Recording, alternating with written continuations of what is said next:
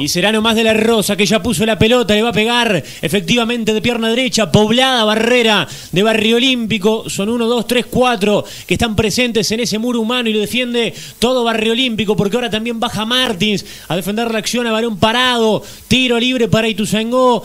Es a unos 4 o 5 metros del área mayor del conjunto locatario, agazapado. Pablo Alzogaray, bajo los tres palos, regalando un poco, hasta por lógica, su poste derecho. Va a llegar la orden de Fernando Martínez, que estuvo acá en aquella final que no queremos recordar entre La Valleja y San José. La orden de Martínez le va a pegar el capitán.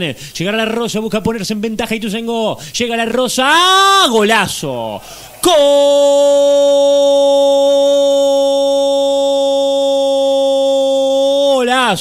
Golazo, de Ituzaingó Martín La Rosa, un derechazo exquisito, caricia al útil, se coló contra el ángulo superior derecho de Pablo Alzogaray, no pudo hacer mucho. El guardameta olimareño gana, sin mucho que haya sucedido hasta ahora. Gana el verde, gana Ituzaingó por este golazo de tiro libre del capitán Martín La Rosa. Oral Sport, no escuche fútbol, disfrútelo.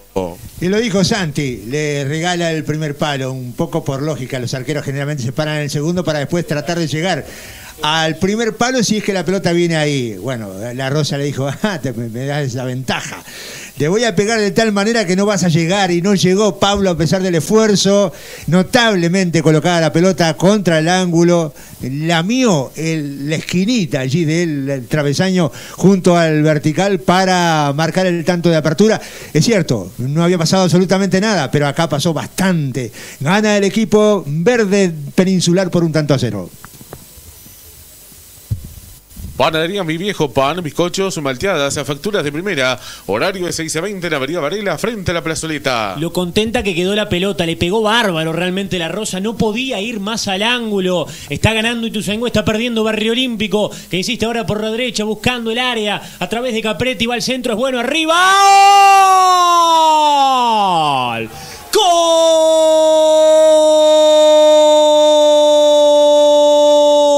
Martins. De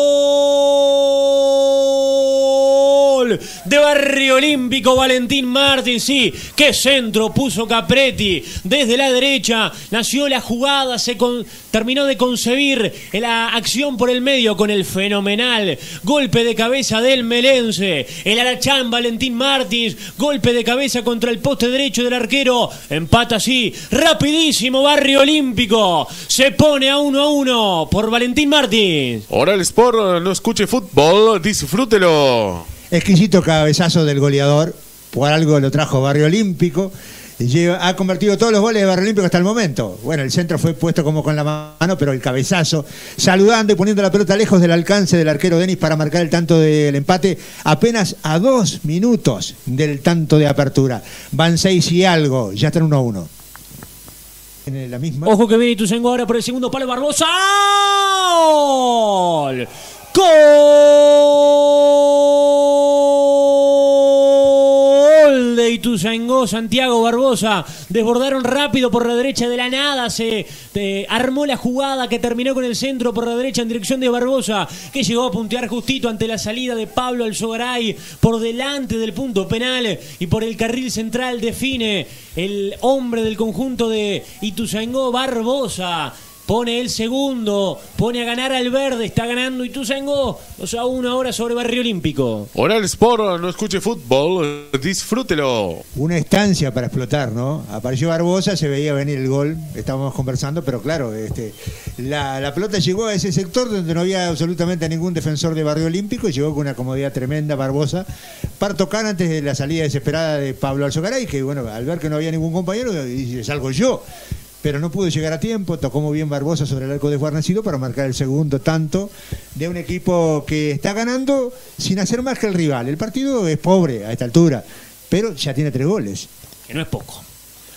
Hacia adelante le pega Capretti, Martins, que nunca va a llegar, saca de cabeza Chocho. Ahora la Rosa le pega mal a la pelota. Viene Barrio Olímpico, la conducción, el traslado de Martins. Abre a la izquierda para Chaine. Varios por el medio. Viene Gabriel mano a mano con un pierre. Llega al área por la izquierda toca el centro para Martín. Martín para Chaine. Mata el fondo por la izquierda, levanta el centro.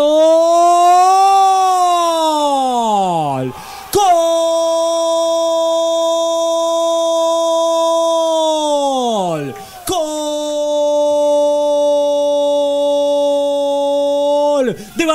Olímpico. Gianluca Rualde llegó en la puerta del arco, solo empujarla, pero antes sí, el mérito de cerrar por el segundo palo y de estar donde había que estar. Todo mérito, mucho mérito de Chaine. En el desborde, Gabriel por la izquierda, luchando y llegando hasta el fondo, tirando al medio. El arquero no pudo retenerla tampoco, desviarla a Izarrualde. Llegan Lucas Izarrualde de la cantera, llegan noticias. Empata Barrio Olímpico, están 2 a 2. Hora del Sport, no escuche fútbol, disfrútelo. Una gran jugada entre Martins y Chaine. Chaine se fue hasta el fondo dejó que se le arrimara la raya y después tocó atrás cuando el arquero esperaba que se fuera con pelota y todo afuera, tocó muy bien atrás. Milimétrico el pase hacia el medio para un Izarroalde que entró con el arco libre, pero además con la corazonada de que llegaba para convertir y de esa manera, un poco aislado, porque hasta el momento había llegado muy poco el equipo de Barrio Olímpico, pero tras una muy buena jugada elaborada por dos muy buenos jugadores y culminada por el juvenil, el equipo del Picó Picó logra empatar un partido que parecía que se le iba.